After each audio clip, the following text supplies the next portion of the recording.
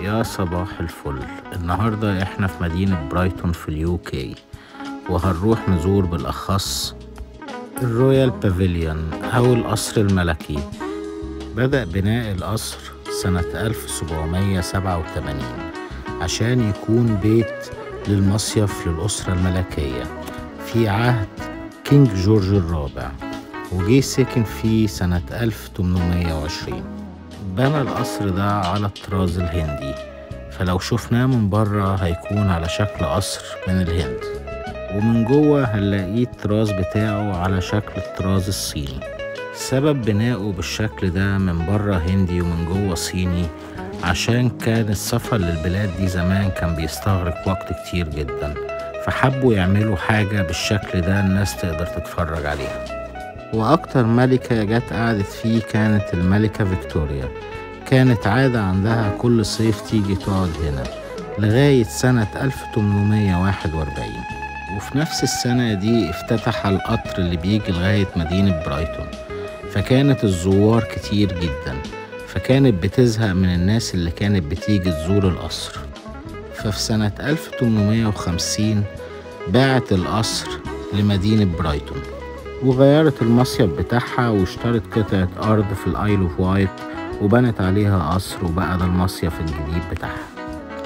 كل القطع والعفش اللي بنتفرج عليه ده قطع أصلية والباقي اتبرعت بيه الملكة إليزابيث من قصر Windsor.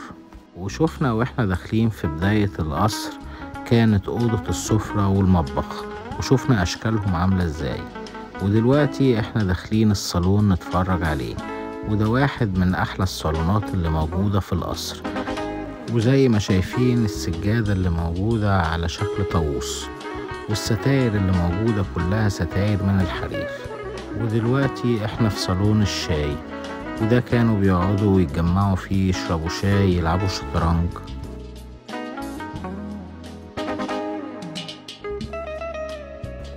وتخيلوا إيه الأوضة اللي إحنا داخلينها دي. دي أوضة الموسيقى اللي كانوا العازفين بيجوا هنا يعزفوا للملك والملكة.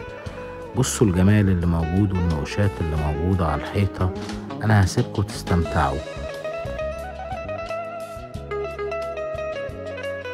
وهنشوف واحد من البيبان السرية شايفينه الصغير اللي في الحيطة.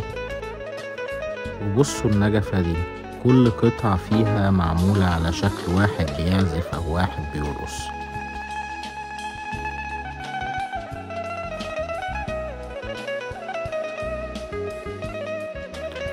وزي ما إحنا شايفين إحنا في أوضة النوم بتاعة الملك. وفي نفس الوقت هنلاقي فيه برضو باب سري في الحيطة في كل الأوض هنلاقي الباب ده.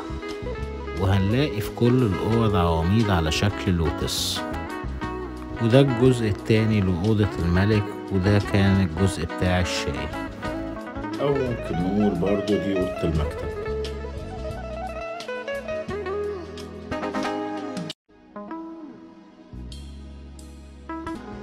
ودلوقتي إحنا طالعين الدور التاني. بس بصوا جمال السلم ده. السلم معمول من البامبو كله.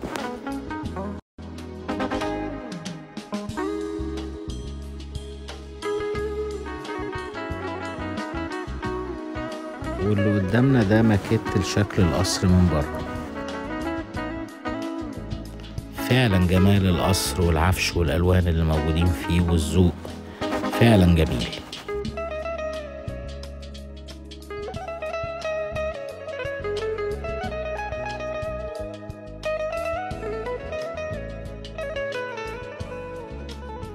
واللوحة دي بتبين الاحتفالات اللي كانت موجودة زمان في القصر. ودي أوضة الملكة. وتخيلوا كانت بتنام على أكتر من سبع مراتب موجودين على السرير ده. وحد يتخيل الأوضة دي هي الحمام؟ ودي أوضة الوصيفة للملكة.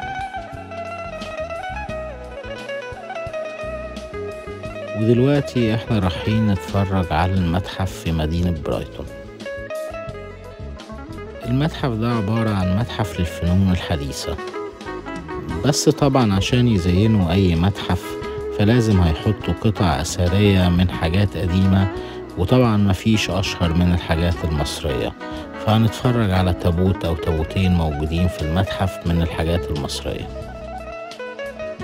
وهنا المتحف بيتكلم عن الحقبة الزمنية بتاعة الميمو والناس اللي كانت عايشة في الوقت ده وشكلهم كان إيه ولبسهم وحياتهم اليومية كانت عاملة إزاي.